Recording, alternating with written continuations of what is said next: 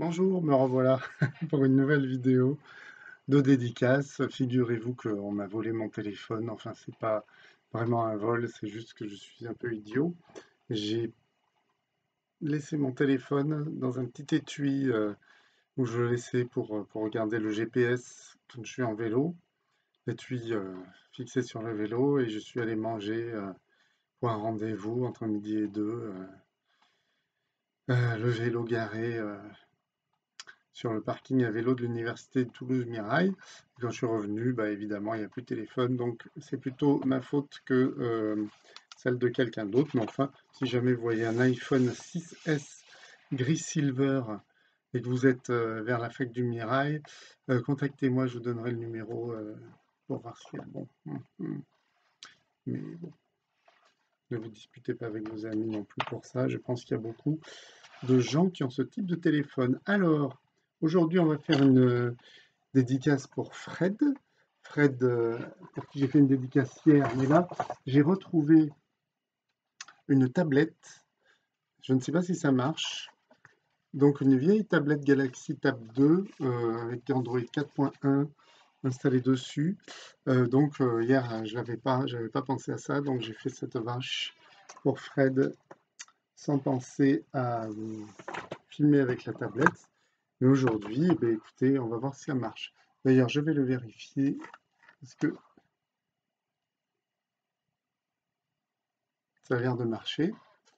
Malgré tout, j'ai aucune confiance dans cette tablette parce qu'elle est très vieille et qu'elle a un très vieux système. Mais bon, euh, peut-être ça va marcher. Alors, Fred, aujourd'hui, on va faire.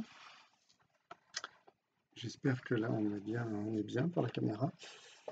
Le cerf cosmique. Allez, on est parti. Le cerf cosmique, parce que la vache, c'est un, animal très important dans biodynamie, mais le cerf l'est un petit peu aussi. Le cerf, c'est la sensibilité euh, de la forêt. Enfin, ça, je vous répète ce que m'a dit Nicolas Joly. Euh, L'hypersensibilité, donc c'est lié à sa vessie, qui est euh, un organe d'hypersensibilité. Et puis ça doit être de là qu'il est millefeuille qu'on met dedans. Et tout ça est lié à une planète dont je ne sais plus laquelle il s'agit. Mais enfin, voilà, la biodynamie, c'est ça. On lie euh, une planète à un organe d'animal et à une plante. Donc c'est une logique analogique. Donc il n'y a rien à voir avec la logique de cause à effet. Mais là, c'est euh, la plante qui est liée pour une raison ésotérique, non, occulte, à,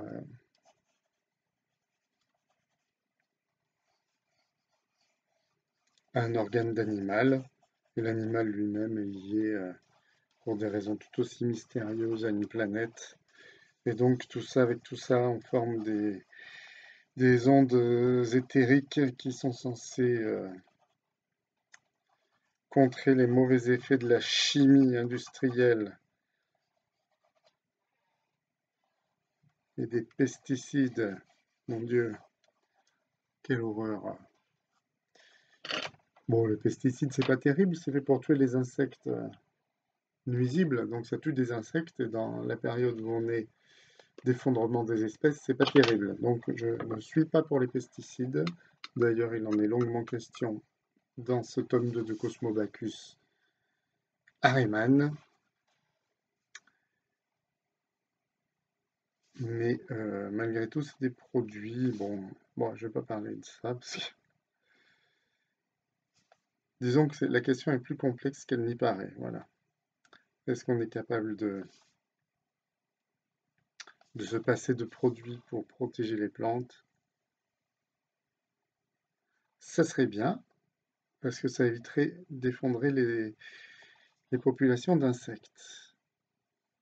Mais je crois que ça, ça n'est possible que euh, dans des petits jardins en permaculture, où il y a beaucoup de biodiversité, et que par contre, dans des grandes exploitations de blé ou de maïs, c'est un petit peu plus compliqué.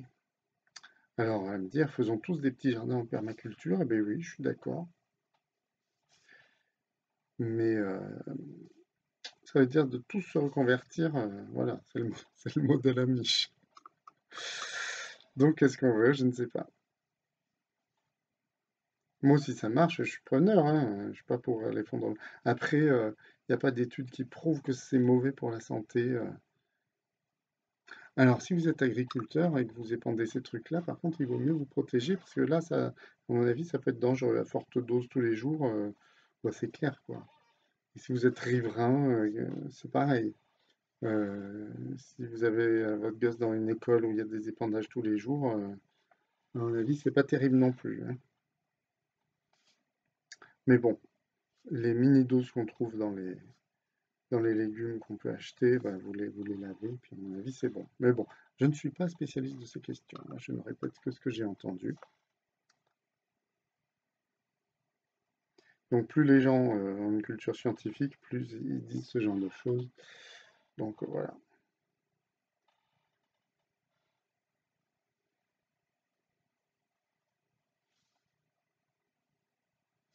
Mais la question reste ouverte.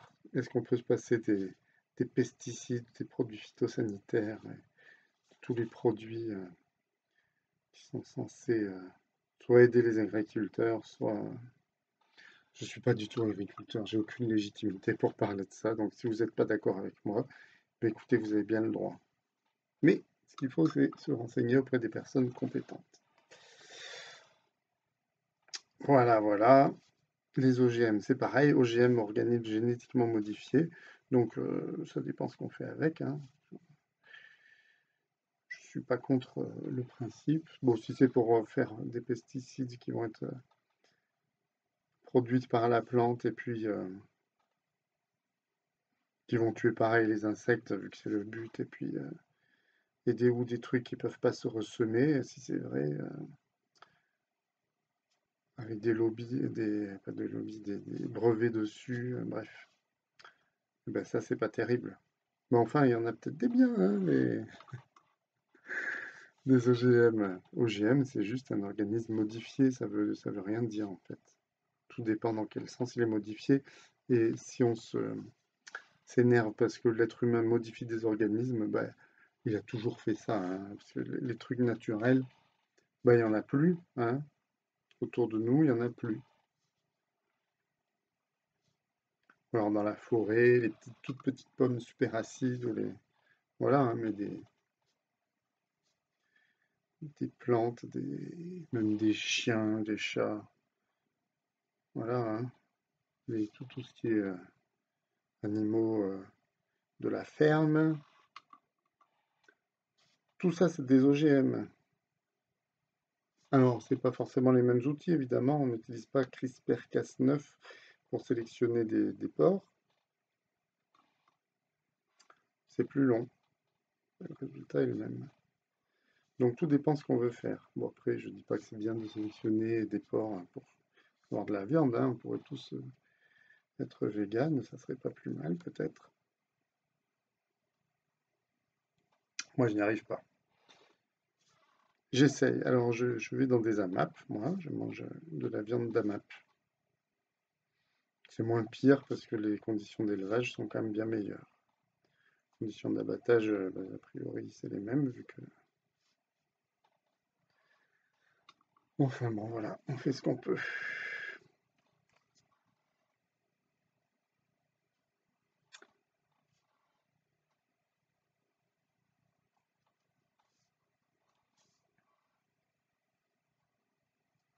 Sujet euh, un peu sensible hein, ce matin. C'est vrai que moi j'ai évolué sur toutes ces questions parce que j'étais farouchement anti-pesticides avant de m'intéresser sérieusement à tout ça. Et maintenant, bon, bah, j'ai une position, je suis toujours anti-pesticides, mais j'ai une, une position plus nuancée, voilà.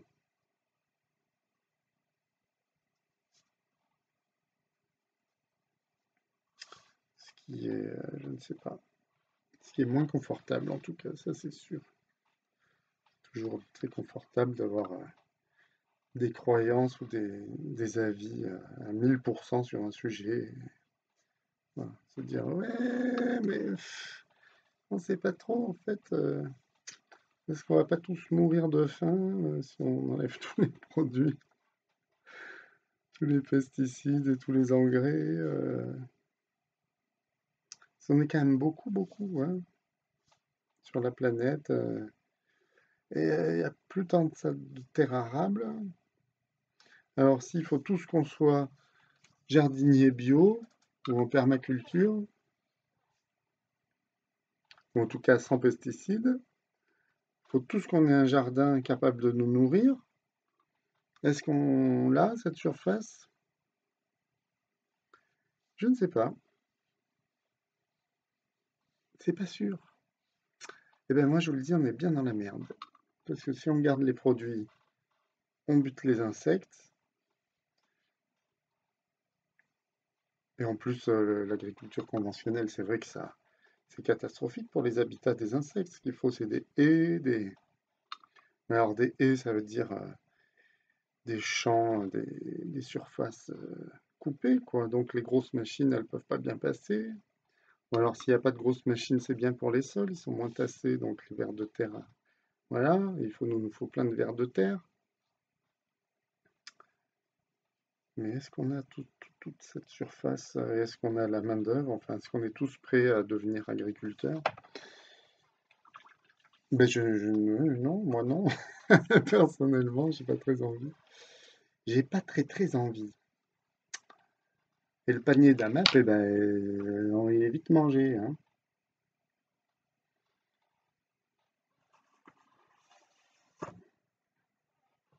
Il est vite mangé et ça a l'air d'être du boulot. Ah, moi, je préfère faire de la BD tranquille. Hein. Alors, mon petit pinceau. Ah.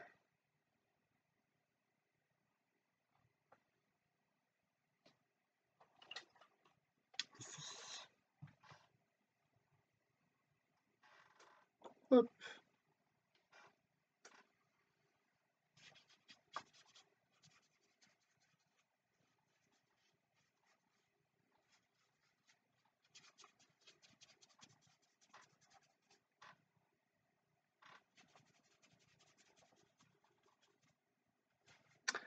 Alors, euh, normalement, le 25, là, c'est-à-dire euh, dans deux jours, euh, je parle donc à la fête des possibles de Rennes au bar Les Mille Potes à 20h. Non, 17h. 19h. Regardez sur internet. Simplement, bon, ça devrait se maintenir. Alors là, comme il n'y a plus Angoulême, ça a été annulé là. Bon, je me suis dit, je vais reprendre les dédicaces pour ça, je me suis dit, allez, je vais retrouver cette tablette et essayer de faire quelque chose. Parce que s'il n'y a plus Angoulême, c'est tristouné, quoi. Donc là, ça me permet d'avoir un contact un peu à sens unique, mais sur Twitter, après, on discute bien avec mon nombreux lectorat et mes fans innombrables. Hop. Ça, c'est le cerf dans la forêt. Alors le premier, j'ai dit la vache cosmique.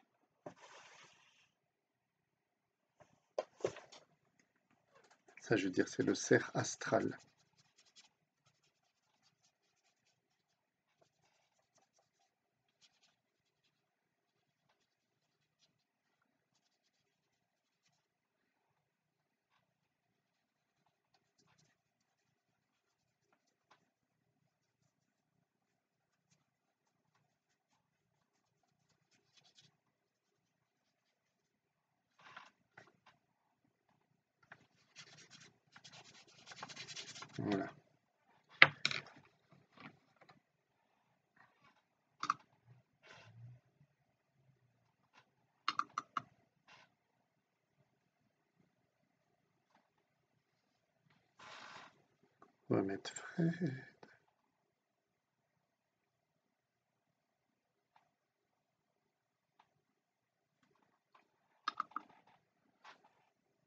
ça marche. je suis pas sûr.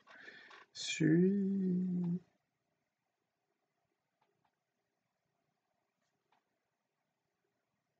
La voix.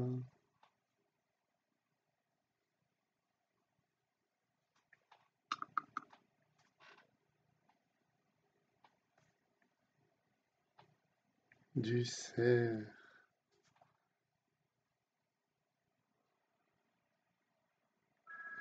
Astral. Voilà. Bon, ben, je vais répondre. Hein.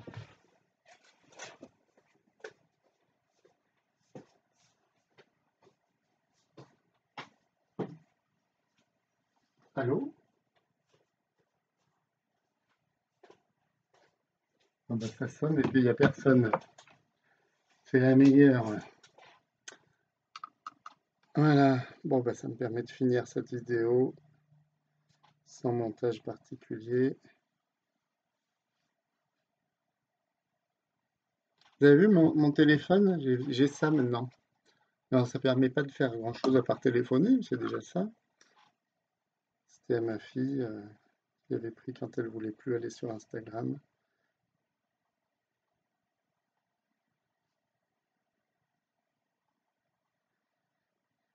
Je vais pas faire une collecte pour me racheter un téléphone. Non, non, non, non, non, je vais me débrouiller. Alors, l'évêque, c'est moi. Ça se trouve, on voit rien. L'évêque, c'est K. si cette vidéo marche, sur avec celle-là. Je ferai le gag comme la dernière fois. On est le quoi? Le 23 On est le... On doit être le 23, 24.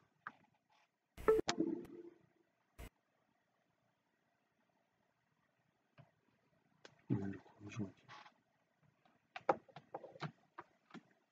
Ah mais hier j'ai fait ça. On est le 24 aujourd'hui. Ah, c'est demain que je pars à Rennes. Si jamais c'est pas annulé. Donc moi je serai en vidéo. Hein.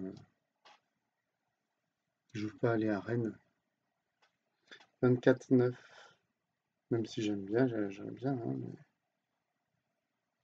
voilà. voilà.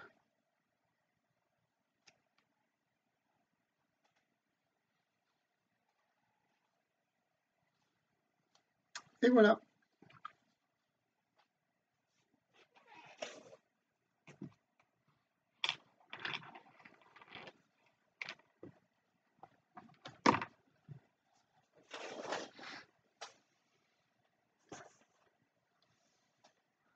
Est-ce que ça marche toujours, ça?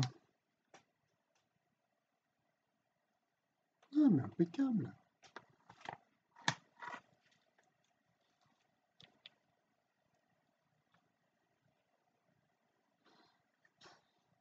On va l'arrêter là.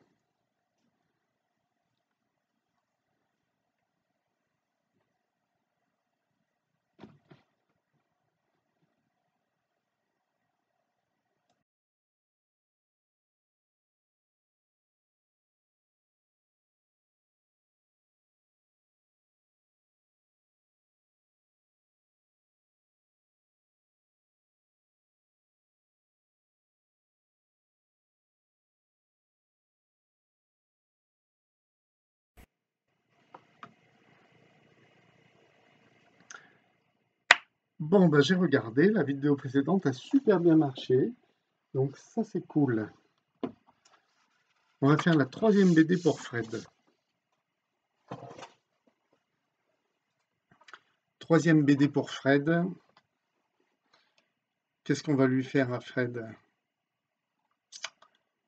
La pieuvre anthroposophique. C'est pas d'autres animaux là-dedans. Hein.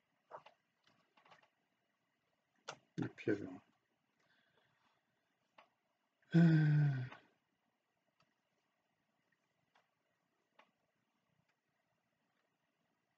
Dans la dédicace, vous pouvez me dire euh, j'aimerais mieux les animaux, donc euh, la vache, le cerf, la pieuvre. J'aimerais mieux. Alors à Timothée, je lui ai fait un truc, je lui ai fait Rudolf Steiner, Elena Blavatsky et le Christ cosmique. Bon, le Christ cosmique. J'aurais pu faire Krishnamurti, mais c'était un peu éloigné. Voilà. Euh, je peux faire euh, les trois compères, donc Jean-Marie Lebris, euh, Jean-Bernard Junistroum et Alan le vendeur. C'est ce que je fais le plus souvent, c'est sympathique. Je peux faire les êtres élémentaux, le gnome, le sylphe, l'ondine, la salamandre. Alors à ce moment-là, je mets le sylphe et l'ondine dans le même, parce qu'il y a quatre êtres élémentaux et j'ai trois BD. Alors c'est toujours un dilemme, ça, abominable. Euh, voilà. Euh, qu'est-ce qu'il y a d'autre? Les animaux, les, ah, les archanges. Non, les, hiérarchies angéliques plutôt. Il y a les arcailles, les archangelos et les angelos. Et les, les, bon voilà, les, trois. C'est les archanges qui ont créé les, êtres élémentaux. Parce qu'eux, ils peuvent, peuvent pas, je vous l'ai déjà dit ça, ils peuvent pas toucher la matière, c'est crado. Pour eux, ils sont trop classeux. Alors, une pieuvre. Faites attention. C'est pas mal comme ça, ce système. Pieuvre. Hop. Je triche, hein, je regarde sur Internet. Bon, après, de toute façon, je fais ce qui, comme je veux les archanges, les ou alors autre chose, euh, mais bon, euh, pas que ce soit trop compliqué. Hein. Alors, euh, alors là, j'ai du retard dans mes dédicaces, hein, comme je vous ai dit, mais si vous voulez que ça aille vite, allez en librairie, quoi qu'il y en a. J'ai eu entendu dire, comme le, diffuseur, c'est Macassar, c'est un petit diffuseur, tous les libraires ne travaillent pas avec. Alors s'ils travaillent avec, il n'y a pas de problème. Si ce n'est pas le cas, euh, des fois, ça peut être un peu compliqué. Mais bon, euh, si vous avez un bon libraire euh, qui travaille avec des indépendants, avec des éditeurs indépendants, voilà, plus votre libraire sera un bon libraire, plus il aura de chance d'avoir Cosmo Bacchus. Parce que c'est les,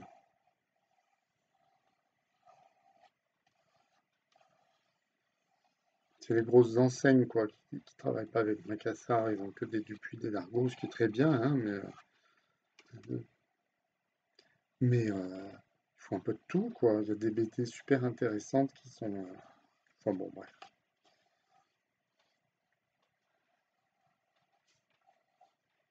Là, je vais faire la petite grenouille.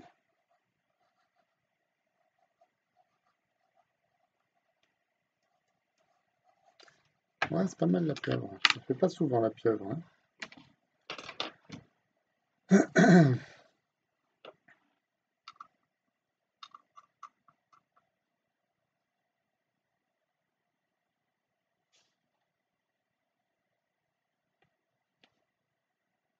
Je suis trop content, la vidéo, elle a super bien marché de la tablette tout à l'heure. Donc euh, ça va être cool. Je pouvoir, euh, je vais pouvoir continuer faire ça. Par contre, le coup des reportages et tout, comme j'avais commencé à faire, euh, c'est un peu galère. c'est un petit peu galère. Enfin, c'est un peu long, quoi. C'est pas galère, c'est très rigolo, c'est dommage parce que j'avais prévu. Euh, il y avait l'école Steiner euh, de Toulouse là qui, faisait son vide-grenier, je serais bien allé interviewer les gens. Mais après, c'est embêtant parce que. Est-ce que je les, je les filme Est-ce que je leur dis? Bah oui, forcément, je peux pas. Alors après, euh, est-ce qu'il faut dire oui, je fais un livre sur la biodynamie euh, Après, les pauvres vont dire c'est cool. Enfin, c'est un, peu, un peu dérangeant, quoi. Donc, euh, ça, ça m'ennuie un peu, à vrai dire.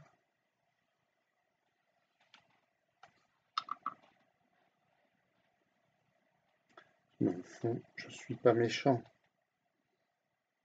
Donc, je n'aime pas emmerder les gens. D'ailleurs, euh, c'est vrai que l'anthroposophie, bon, je ne suis pas hyper d'accord. En même temps, les gens, ils font ce qu'ils veulent, ils croient, s'ils veulent croire qu'il y a des, des, guides spirituels. Et, bon, ben, c'est un peu, voilà, mais voilà, ils font bien ce qu'ils veulent. Hein. Les anthroposophes, je n'ai rien contre eux.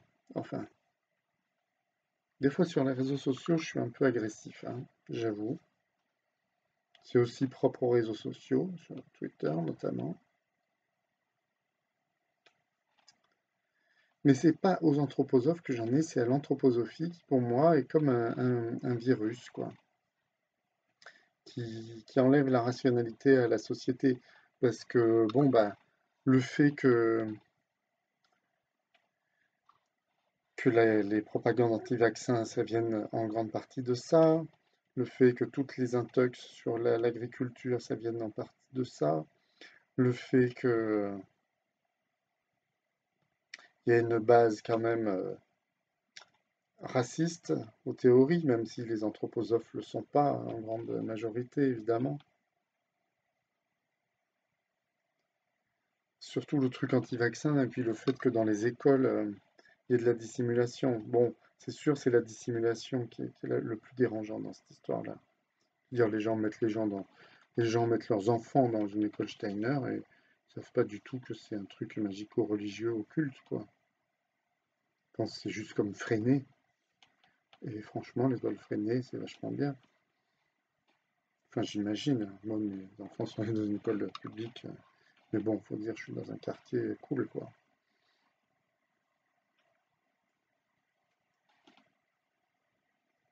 Mais c'est ça, même, euh, comme, dit Shadow Ombre, euh, les écoles religieuses, bon, ben, on a le droit, mais faut, le savoir. Faut savoir où on met son enfant, faut lire un peu Steiner, quoi. C'est la pédagogie Steiner, faut savoir que... Moi, je ne refais pas tout le refrain, de toute façon, si vous regardez cette vidéo, c'est que vous êtes un peu convaincu, mais... Comment dire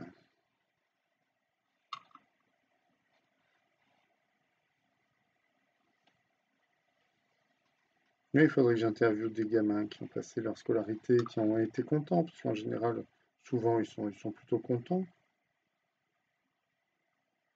S'ils sont pas morts de. S'ils sont pas morts de la rougeole, hein, évidemment. Alors, est-ce que vraiment... Il faudrait, il faudrait interviewer des...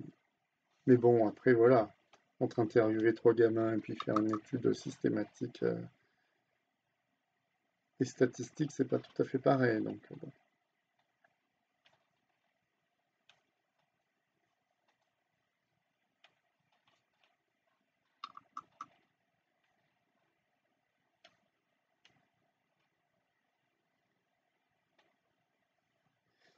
Moi, si je me suis intéressé à la biodynamie, c'est un peu comme tous les zététiciens qui s'intéressent au paranormal, c'est que je trouve ça extrêmement surprenant et et rigolo, quoi, que les gens croient à ça. Mais après, on arrête de rire quand on voit d'où ça vient. Moi, je voulais faire une BD sur le vin, simplement, une enquête sur le vin, et puis je suis tombé là-dessus, euh, voilà, comme ça, quoi. Je suis tombé des nues. En disant, mais enfin, qu'est-ce que c'est que ces, conneries, là? C'est pas possible. Le Christ et tout, euh, le... Les êtres élémentaux, ça vient pas tout de suite. Hein. Je vais lui faire un bec. Il dit toujours ça, un bec, mais il est dessous. Mais bon, on s'en fout, je vais le faire là. Comme un bec de poussin. Et oui, les êtres élémentaux, c'est planqué, c'est de l'occultisme là. C'est lié aux, éléments. Euh, l'air, la terre, le feu, l'eau. ça, on arrive dans les racines profondes. Les archanges et tout, encore plus. Mais bon, plein de viticulteurs euh, connaissent très bien tout ça. Hein. En général, ils sont pas, c'est pas des idiots qui font juste ça comme ça parce qu'on leur a dit qu'ils gagneraient. Non, non. Ils s'intéressent. Pas croire.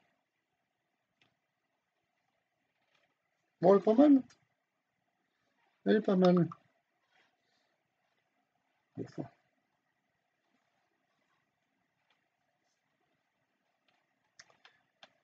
Voilà.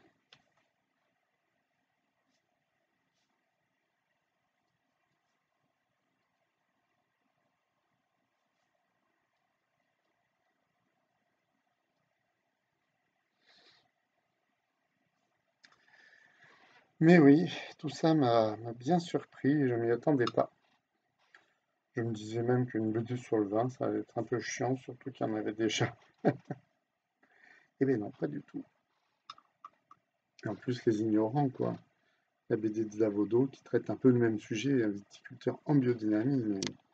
Alors lui, euh, c'est un super auteur, mais là, il est passé à côté du sujet, quoi. Enfin bon, c'était pas son projet non plus, hein, mais quand même, sur un truc comme ça. Et waouh, waouh, waouh, il y a peut-être des choses à dire. Fred.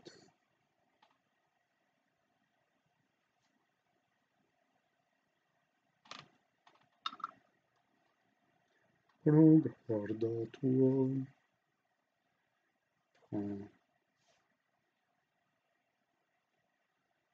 Yeah.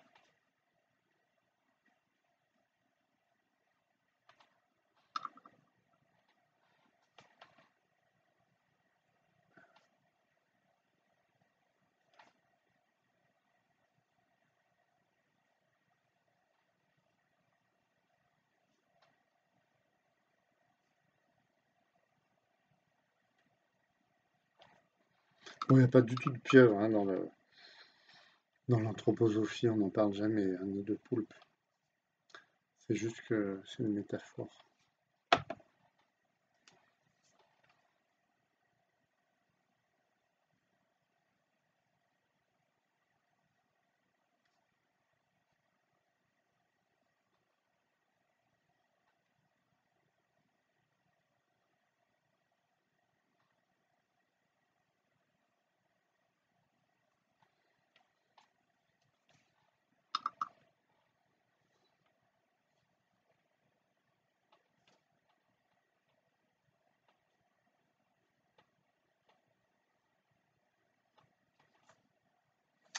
Et on est bien le 24. C'est gagné. 24.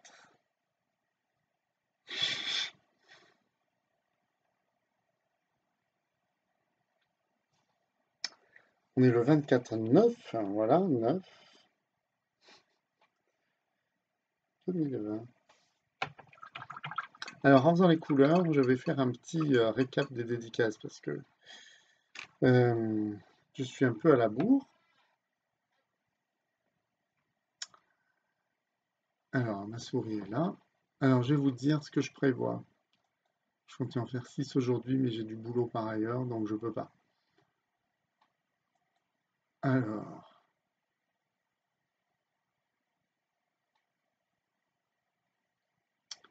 Voilà. Là, j'ai fini pour Fred. Je lui mets dans ma boîte aujourd'hui. Alors, je mets dans ma boîte, c'est le facteur qui vient. Je pense qu'il viendra demain, et donc il devrait le on est jeudi, vendredi, samedi, samedi ou lundi. Lucas. Donc je ferai demain. Ces trois BD. Donc il devrait les recevoir mardi. Maïwen.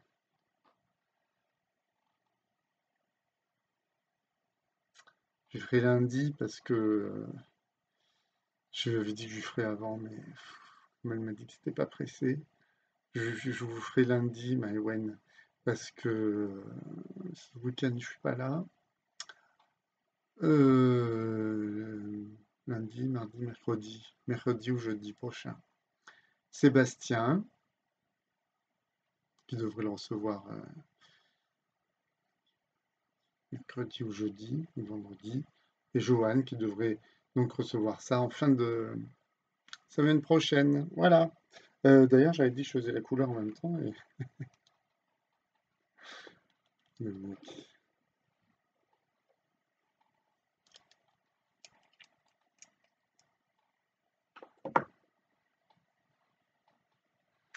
Donc, si tout va bien, comme je disais, je suis en vidéoconférence depuis euh, mon studio personnel dont je vous parle,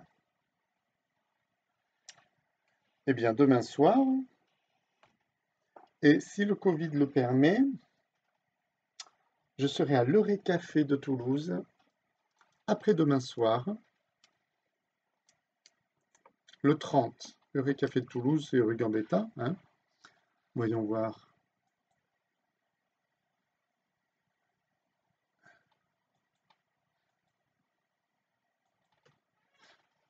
Euh.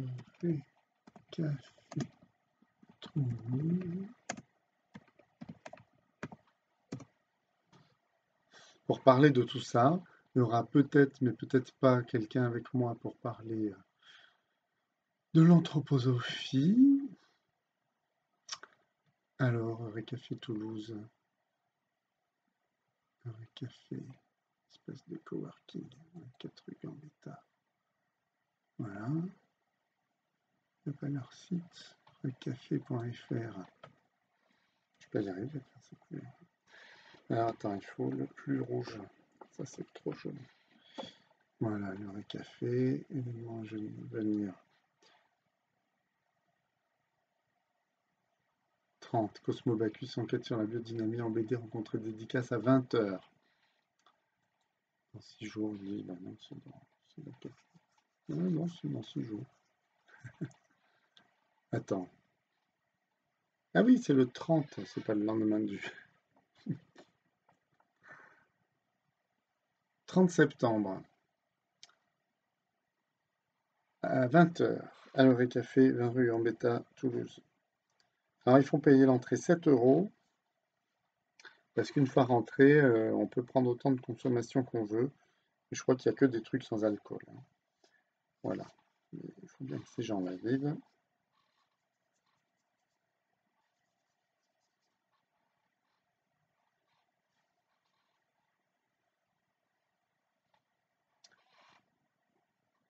Et après, euh, festival de Colomiers, s'il est maintenu. Et s'il n'y a plus du tout de festival, ben, je continuerai à faire mes dédicaces depuis chez moi. Comme ça, euh, voilà. On ne risquera pas d'attraper le Covid. Ou la Covid.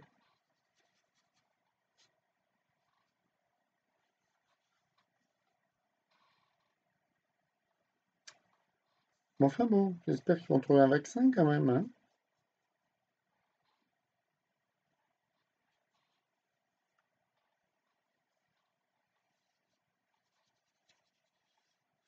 S'ils trouvent un vaccin, bon, j'attends peut-être un tout petit peu pour voir si les premiers euh, qui se l'injectent ne se transforment pas en, chauve-souris ou en pangolin.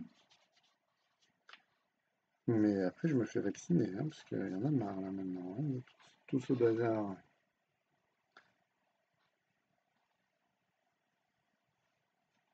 Puis après, peut-être qu'il faudra réfléchir justement à laisser un peu plus d'espace pour les animaux sauvages, hein, pour éviter ce genre de petites mésaventures collectives.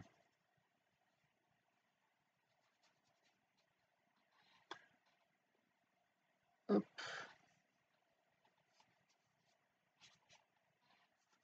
Bon, elle est sympa la pieuvre. Elle a des petits yeux mutants.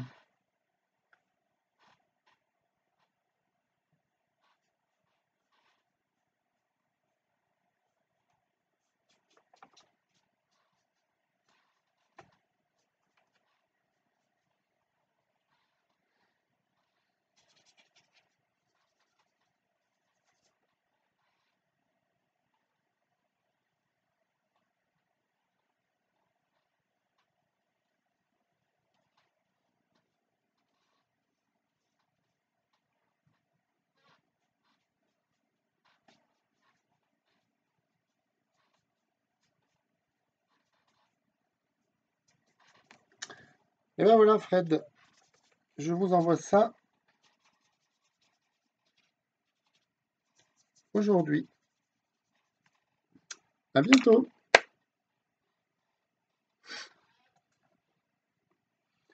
Est-ce que ça a encore marché ça? Mais oui, c'est magique. Je tous les deux en même temps.